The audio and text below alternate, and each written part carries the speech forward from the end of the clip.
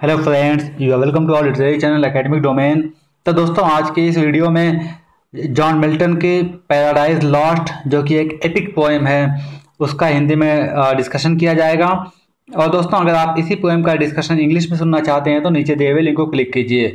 और दोस्तों, अगर अभी तक आपने मेरे चैनल को सब्सक्राइब नहीं किया है तो इसे सब्सक्राइब कर लीजिए और बेल आइकन को भी प्रेस कीजिए, ताकि मेरी नई वीडियोज़ के नोटिफिकेशन आपको मिलते रहें। लाइक कीजिए शेयर कीजिए और कमेंट करके अपना फीडबैक ज़रूर दीजिए कि आपको ये डिस्कशन ये वीडियो कैसी लगी। तो दोस्तों, जब हम पैराडाइज लॉस्ट की बात करते हैं तो पैराडाइज लॉस्ट एक एपिक पोएम है। एपिक पोएम का मतलब कि एक लॉन्ग नेरेटिव पोएम एक एपिक पोएम ऐसी होती है जिसमें एक नेशनल लेवल का या इंटरनेशनल लेवल का कोई हीरो होता है और मोस्टली जो है पोएम उसी हीरो पर बेस होती है, उसकी एक्टिविटीज़ पर, उसकी फाइट पर। जैसे कि हमारे पास रामायण, महाभारत है या ओडिसी है तो ये सारी जो है यूलिसिस है, ये सारी जो है पोएम क्या है एपिक पोएम कहलाती हैं। तो पैराडाइज लॉस्ट भी एक एपिक पोएम है और ये ब्लैंक वर्स में लिखी गई है। ब्लैंक वर्स का मतलब ये है कि couplet written in unrhymed pentameter यानी कोई भी कपुलेट हो, दो लाइन के पोएम हो, यानी पोएम में जो दो दो लाइन करके होते हैं, वो पेंटामीटर में हो आयम्बिक पेंटामीटर में हो, मगर वो राइमिंग ना हो अनराइम्ड कपुलेट हो। अगर वो राइम्ड हो जाते हैं तो हीरोइक कपुलेट हो जाते हैं, और अनराइम्ड आयम्बिक पेंटामीटर है तो ब्लैंक वर्स हो जाता है। और इसको इसको जो है विलियम ये जॉन मिल्टन ने लिखा है और जॉन मिल्टन, हम जानते हैं कि सेवनटीन सेंचुरी का एक बहुत ही ग्रेट पोएट और पॉलिटिशियंस था। पॉलिटिशियंस इसलिए क्योंकि वो जो है पॉलिटिक्स वगैरह पे बहुत कुछ लिखा करते थे। और ये फ़र्स्ट टाइम पब्लिश हुई थी 1667 में, तब वो टेन बुक्स में पब्लिश हुई थी। और सेकेंड एडिशन पैराडाइज लास्ट का पब्लिश हुआ इन सिक्सटीन सेवेंटी फोर में, तब ये ट्वेल्व बुक में पब्लिश हुई थी। और 1674 में जॉन मिल्टन की डेथ भी हुई थी और जॉन मिल्टन 1608 में पैदा हुए थे। और इट इज़ ये जो पैराडाइज लॉस्ट है, ये biblical story fall of man पर बेस्ड है, क्योंकि हम जानते हैं कि किस तरह से पहले तो एडम और यू वहाँ पैराडाइज में रहा करते थे, यानी वो जो वहाँ का जो गार्डन ऑफ़ एडन था, वहाँ पे रहा करते थे, मगर उनका फॉल कैसे हुआ वहाँ से? यानी जिसको हम कह सकते हैं कि हिंदी में उनका पतन कैसे हुआ तो किस तरह से उनको जो है वहाँ पैराडाइज से निकाला गया? तो ये स्टोरी, ये पैराडाइज लॉस्ट इसी मेन स्टोरी पर बेस्ड है। और दोस्तों जॉन मिल्टन 1552 में पूरा कम्प्लीटली ब्लाइंड हो गए थे। एट द एज ऑफ़ 44 तो जैसा कि जॉन मिल्टन की एक पोएम है ऑन हिज ब्लाइंडनेस आप उसको पढ़ सकते हैं, आप जानते ही होंगे कि उसमें उन्होंने मेंशन किया इस बात को। और 1552 में कम्प्लीटली ब्लाइंड हो गए थे, और उन्होंने इस पोएम को लिखना शुरू किया 1558 में, यानी पूरा कंप्लीट ब्लाइंड होने के छः साल के बाद, और इसको उन्होंने फिनिश किया 1563 में। और चूँकि वो पूरा कंप्लीट ब्लाइंड हो गए थे तो उसको लिख नहीं सकते थे खुद से। वो क्या करते थे कभी किसी को हायर कर लेते थे और डिक्टेट करते थे तो वो जो है जिसको हायर करते थे वो टाइप करता था। कभी कि, कभी किसी फ्रेंड से जो है टाइप करवा लेते थे। तो इस तरह से जो है मिल्टन ने डिक्टेट करके इस पोएम को टाइप कराया है। और जब मिल्टन इस पोएम को जब मिल्टन ने लिखना शुरू किया उस वक्त मिल्टन जो है बहुत सारे जो है परेशानियों से गुजर रहे थे। पहली बात तो ये है उनकी जो फ़र्स्ट वाइफ है उसकी डेथ हो गई थी लगभग डेढ़ साल पहले पंद्रह महीने पहले। उनका और उनके एक बेटे की भी डेथ हो गई थी। और मिल्टन खुद जो है गाउट यानी जो एक गठिया बीमारी होती है, उससे सफ़र करते थे। कभी कभी बीमार रहते थे। और उनकी जो सेकेंड वाइफ थी और उनकी भी डेथ हो गई थी 1558 में, जब उन्होंने इस पोएम को पैराडाइज लास्ट को लिखना शुरू किया। और कुछ ही दिन के बाद फिर उनका जो एक बच्ची पैदा हुई थी इन्फेंट थी उसकी भी डेथ हो गई थी। तो यानी मिल्टन ने जब इस पोएम को लिखना शुरू किया तो उस वक्त तो बहुत सारी परेशानियों से गुजर रहे थे। और इसके बावजूद भी उन्होंने इस तरह ऐसी मास्टरपीस ऐसा मैग्नम ओपस ऐसी एपिक पोएम लिखा, जिसको लिखना हर किसी के बस की बात नहीं हो सकती। और जैसा कि एक ट्रेडिशन है जो भी एपिक पोएम लिखी जाती थी, एक ट्रेडिशन होती थी कि जो है, पहले वो जो जो गॉडेस ऑफ़ म्यूज हुआ करती थी गॉडेस ऑफ़ पोइट्री हुआ करती थी, उससे इंस्पिरेशन हासिल करना चाहते थे पोइट कि वो उनको इंस्पायर करे कि वो इतना बड़ा काम करने जा रहे हैं, इतने बड़ी इतनी बड़ी बुक लिखने जा रहे हैं उन, वो जो है, जो गॉडेस ऑफ़ पोइट्री होती थी, उनसे इंस्पायर होना चाहते थे, उससे इंस्पिरेशन लेते थे तो वही हाल यहाँ पर भी है तो जो म्यूज़ है, यानी गॉडेज ऑफ़ पोइट्री है, मिल्टन उससे जो है इंस्पायर होना चाहते हैं इस पोएम को लिखने के लिए। और ये पोएम जो है, इन मीडिया रेस यानी जो है मिडिस्ट ऑफ़ द प्लॉट यानी ये पोएम जो है प्लॉट के बीच में ही स्टार्ट होती है। यानी हम कह सकते हैं कि क्लाइमैक्स से स्टार्ट होती है। ये भी एक जो है एपिक पोएम एपिक पोएम लिखने की एक ट्रेडिशन थी कि जो क्लाइमैक्स से इसको स्टार्ट किया जाए और फिर जो बैकग्राउंड है, उसको बाद में नरेट किया जाए। और ये जो है पोएम है मैंस फ़र्स्ट ओबीडियंस यानी जो मैन चूँकि एडम और यू को जो है गॉड ने मना कर दिया था कि जो है तुम यहाँ पैराडाइज में रहो, इस गार्डन में रहो, तुम सब कुछ कर सकते हो, तुम सब कुछ खाओ पियो मगर एक जो फॉरबिडन फ्रूट है, एक जो फ्रूट ऑफ़ नॉलेज है, उसकी तरफ़ मत जाना, उसको मत खाना, मगर एडम और यू ने उस बात को नहीं माना और उसको खा लिया और इसीलिए इस ये जो है, ये स्टोरी ये पैराडाइज लॉस्ट जो है मैं फ़र्स्ट ओबीडियंस के बारे में है, कि जो है ह्यूमन बीइंग ने, आदमी ने या एडम और ईव ने, उन्होंने पहली बार जो है गॉड को डिसओबे जब किया था, उस पर बेस्ड है और ये एडम यू और सैटन पर बेस्ड स्टोरी है कि किस तरह से जो है उन्होंने गॉड को डिसओबे किया था और सैटन ने किस तरह से उनको बहकाया था और उसके बाद किस तरह से जो है उनका एडम और यू का फॉल हुआ पैराडाइज से उनको यहाँ अर्थ पर ले आया गया। तो सैटन साल में तो हम यहाँ पे जानते हैं कि सैटन जो थे सैटन भी पहले एक एंजिल ही थे। मगर सैटन भी क्या था? पहले एक एंजिल था, जैसा कि और भी जैसा कि और भी जैसे मिकाइल है और माइकल है, या फिर जो है गैब्रियल है, या जो बहुत सारे एंजल्स हैं तो इसी तरह सैटन भी एक एंजल था। मगर सैटन ने जो है सैटन के अंदर एक क्लाउड आ गया था कि उसलिए इसलिए उसने जो है एक बार जो है गॉड को डिसओबे कर दिया था। और जिसकी वजह से वो शैटन बन गया और और उसके बाद उसने अपनी एक आर्मी को तैयार किया। तो उसने अपनी एक आर्मी को तैयार किया और उसने जो है गॉड से जो कि गॉड से उसने एक बार जंग भी की और वो डिफीट हो गया था, उसकी हार हो गई थी उसकी आर्मी की तो उसके अंदर एक था कि जो है किसी किसी तरह से जो है गॉड से वो बदला लेगा इस डिफीट का। तो वो क्या करता है, अपने पूरे आर्मी के साथ मीटिंग करता है और वो लोग प्लान करते हैं कि किस तरह से गॉड से जो है रिवेंज लिया जाए, किस तरह से गॉड से बदला लिया जाए। तो उसमें एक जो बिल जेबब होता है, ये भी एक शैटन होता है डिविल होता है तो उसने जो है एक सजेशन दिया कि गॉड की जो बेस्ट क्रीचर है और जो गॉड ने एक जो वर्ल्ड जो प्रिपेयर किया है, उसको हम लोग जो है करप्ट कर देते हैं। तो बेस्ट क्रिएचर कौन है गॉड के? यहाँ पे एडम है यू है। तो बिल्दब यही सजेस्ट करता है कि जो गॉड के बेस्ट क्रिएचर है, उसको और जो गॉड ने जो एक वर्ल्ड क्रिएट किया है, उसको हम लोग जो है करप्ट कर देंगे तो इस तरह से हम लोग गॉड से बदला ले लेंगे। तो फिर जो शैतन होता है चूँकि ये मेन होता है तो उसने आ, उसने कहा कि जो है इसका बदला मैं खुद लूँगा। क्योंकि गॉड पहले मैं एंजल था और जो है गॉड ने जो है जो मैं चाहता था गॉड ने वो नहीं किया तो इसका बदला मैं खुद अकेले लूँगा। तो अकेले जो है उसका रिवेंज लेने के लिए जाता है और जब वो जाता है तो रास्ते में उसके दो सन्स दो बेटे मिलते हैं। एक का नाम सिन होता है और दूसरे का नाम डेथ होता है। और वो दोनों बेटे इसके लिए, अपने फादर के लिए शैटन के लिए एक ब्रिज बनाते हैं, जो वहाँ हेल से यहाँ वर्ल्ड तक का बनाते हैं। क्योंकि ये पूरे शैटन से हैं या फिर जो डेविल्स हैं, ये अभी हेल में रहते हैं। तो जो उनके बेटे सिन एंड डेथ है, वो शैटन के लिए हेल से लेकर वर्ल्ड तक का एक ब्रिज बनाते हैं ताकि उनके फादर को, शैटन को हेल से वर्ल्ड में जाना, वर्ल्ड से हेल में आना इजी हो जाएगा।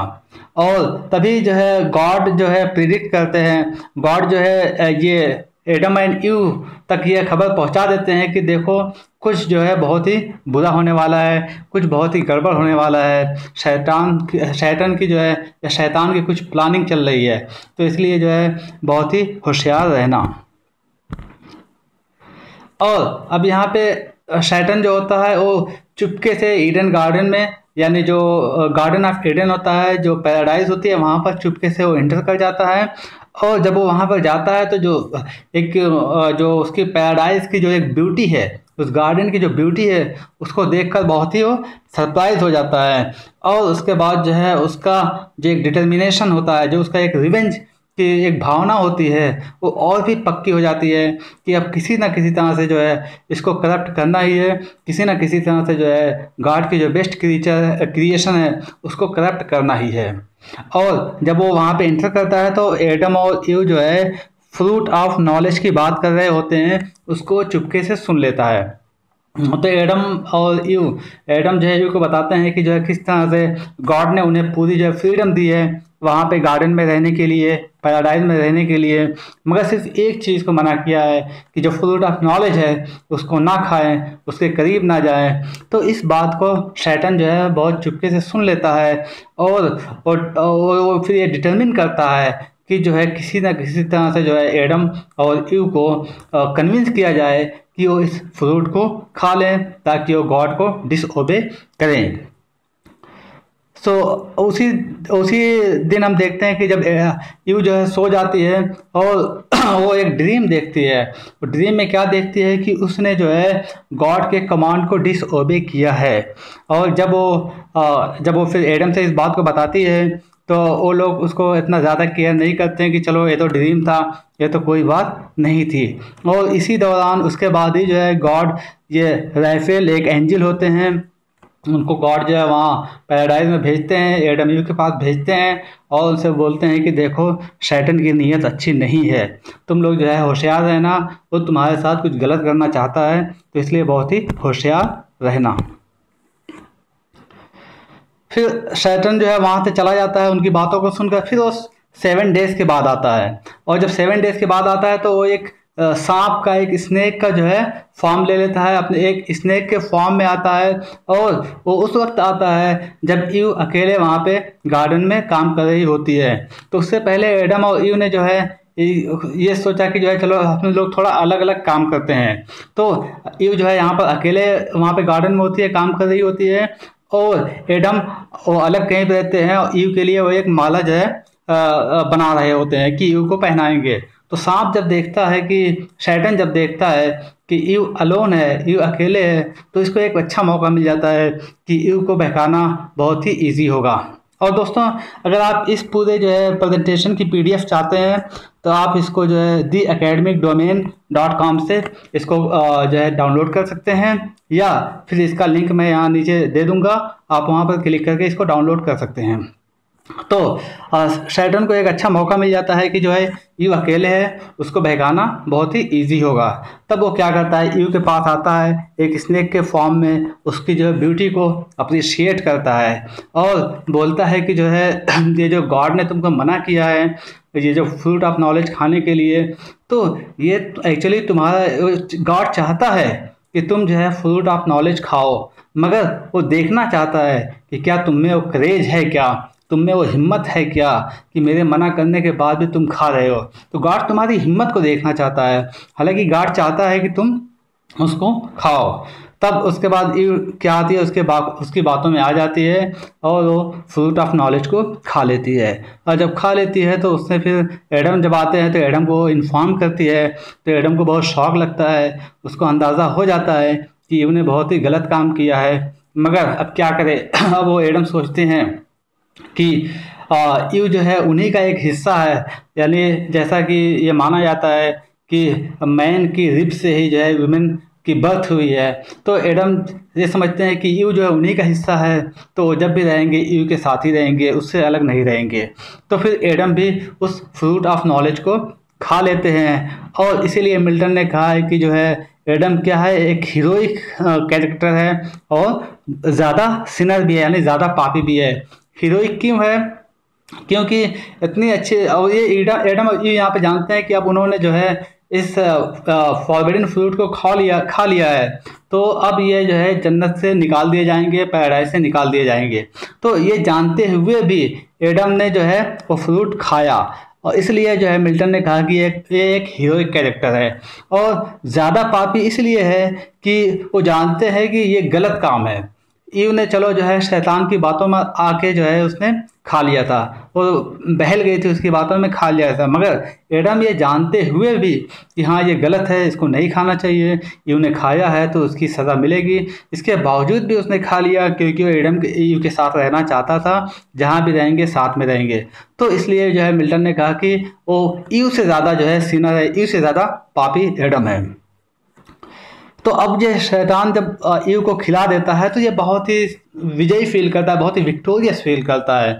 और ये जाकर अपनी आर्मी को जो है बोलता है कि मैंने जो है, ऐसा काम कर दिया, मैंने गॉड की क्रीचर को या गॉड की बेस्ट क्रीचर जो थी, उसको मैंने करप्ट कर दिया है। तो वहाँ पर वो सब बहुत जश्न मनाते हैं, और तभी जो है गॉड क्या करता है अपने जो है एंजल को भेजकर उनको जो है पूरे जो भी डिविल्स है या फिर जो भी शैटन है, उनको किसमें ये स्नेक में, सांप में जो है ट्रांसफॉर्म कर देता है।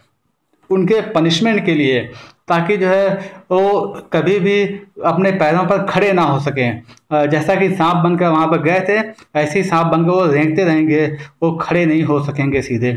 तो ये उनको इस तरह से पनिश करता है गॉड और उसके बाद जब ये एटम जब वो फॉर्बन फ्रूट होता है या जो फ्रूट ऑफ़ नॉलेज होता है, उसको जब खा लेते हैं तो इनके अंदर एक जो है सेक्स की फीलिंग आती है, एक लस्ट की फीलिंग आती है तो उसके बाद वो जो सेक्स करते हैं और सो जाते हैं।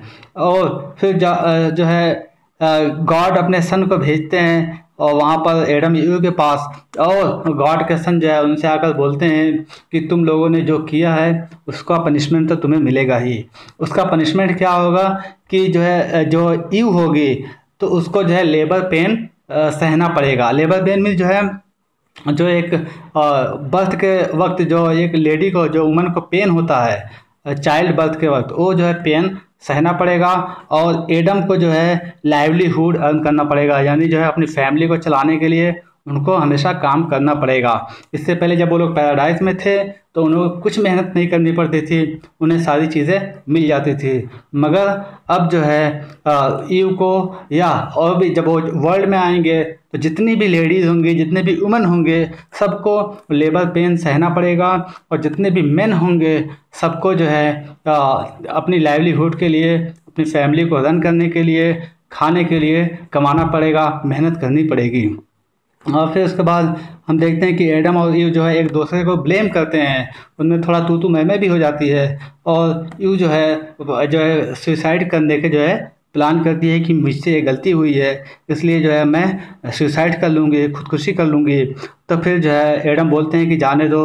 अब अब जो है अब जो हो गया, सो हो गया। अब हम लोग चलो साथ में रहेंगे। जो भी दुख सुख होगा, साथ में बांटेंगे, साथ में रहेंगे। तो वो लोग रो, रोते हैं रोते हैं, आँसू बहाते हैं पछताते हैं, मगर अब कोई फ़ायदा होने वाला नहीं है।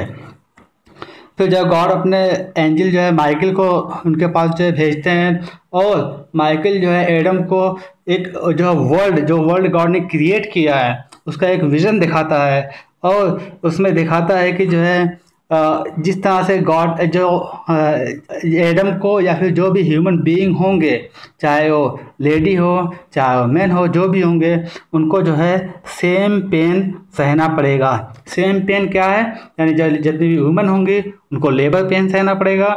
जितने भी मैन होंगे, उनको अपनी फैमिली रन करने के लिए, चलाने के लिए लाइवलीहुड जो है अर्न करना पड़ेगा, उनको कमाना पड़ेगा खाने के लिए। और फिर माइकल और भी बताते हैं कि जो एक एक बार जो है फ्लड आएगा, नोहास फ्लड जैसा कि हम जानते हैं बाई ये बिब्लिकल फ्रेज़ है, बहुत ही पॉपुलर फ्रेज़ है। तो माइकल, ये एडम को ये भी बताते हैं कि एक वक्त आएगा, एक ज़माना आएगा जब पूरा फ्लड हो जाएगी उसमें वर्ल्ड में। और उस वक्त जो है नोहा का ज़माना होगा। और पूरी जब फ्लड आ जाएगी तो पूरे जो है जितने भी क्रीचर्स हैं, सब कुछ जो है डूब जाएँगे। तो उसमें नोहा क्या करेंगे कि जो है हर क्रीचर से एक एक पेयर लेंगे एक एक जोड़े को लेंगे और अपने जो बोट में उनको ले लेंगे। तो उसके बाद से फिर जब वो ब्लड खत्म फ्लड जो है ख़त्म हो जाएगी, वो बाढ़ जो ख़त्म हो जाएगी, तब फिर से जो है एक न्यू जनरेशन का एक न्यू जनरेशन वर्ल्ड में होगी। और वो ये भी बताते हैं कि जो, चूँकि अब ये ह्यूमन बीइंग के अंदर होगा कि वो सिन करेंगे, पाप करेंगे तो जेसस क्राइस्ट फिर बाद में आएँगे। और किस तरह से उनको जो है सूली पर चढ़ा दिया जाएगा, किस तरह से उनको जो है हैंग कर दिया जाएगा और फिर उसके बाद जो है, जेसस क्राइस्ट दोबारा इस वर्ल्ड में आएँगे और अपनी जान देकर फिर किस तरह से जो है, जो ह्यूमैनिटी ने जो पाप किया होगा, जो सिन किया होगा, उसको इन पापों से जो है अपनी जान देकर वो निजात दिलाएँगे। और फिर जो है, वो एडम और यू जो है लास्ट में क्या करते हैं, एक दूसरे का हाथ थामे हुए आँखों में आँसू भरे हुए, उस जो है एडन ऑफ़ गार्डन से गार्डन ऑफ़ एडन से, यानी जो वहाँ के जो पैराडाइज होती है वहाँ से निकल जाते हैं और इस वर्ल्ड में आ जाते हैं।